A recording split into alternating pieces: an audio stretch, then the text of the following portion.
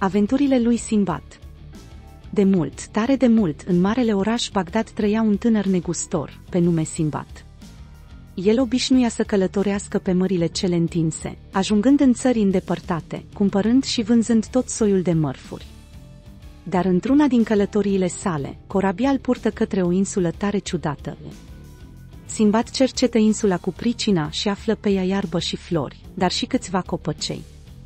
Mai târziu, făcându-i se foame, Simbad strânse niscaiva uscături și aprinse un foc, cu gând să-și pregătească mâncarea. Deodată insula prinse a se cutremura. Pasămite, nu era nici de cum o insulă. Tânărul negustor aprinsese focul pe spinarea unei balene adormite, care plutea așa pe mare de ani în șir. Iar focul nu făcuse decât să o trezească. Înfuriată peste măsură, balena se scutură și l-aruncă pe Simbad în mare. Apoi, după ce-i frânse corabia, se scufundă în apele învolburate. Mai multe zile la rând, Simbad pluti pe mare, ținându-se de un buștean. Până la urmă, valurile și vântul îl purtară către o altă insulă, de data aceasta una adevărată, unde dădu peste un uriaș ou de pasăre. Dar tocmai atunci coborâ din văzduh și pasărea, pentru a se așeza la clocit pe acel ou. Ca să scape de pe insulă, Simbad își desfăcu turbanul și se legă strâns de unul din picioarele păsării. Așa că de cum își luă zborul, îl cărăcuia și pe tânăr.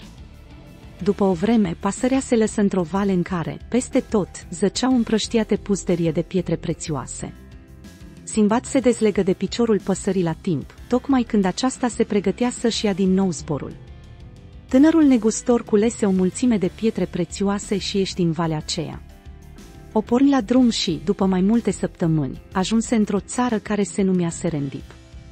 Simbad merse la regele țării și dărui câteva dintre pietrele prețioase mai acătării, culese din valea în care îl dusese uriașa pasăre. Drept mulțumire, regele îi oferi o casetă de aur și un vas din rubin, foarte prețioase, pe care tânărul să le ducă în dar marelui sultan din Bagdad. Totodată, Simbad mai primă o corabie pe cinste, cu care să se întoarcă la ai săi, și mai mulți săculeți cu aur. Tare se mai bucură sultanul la vederea darurilor și, drept mulțumire, îl opri pe tânărul negustor la curte și îl făcu mare dregător.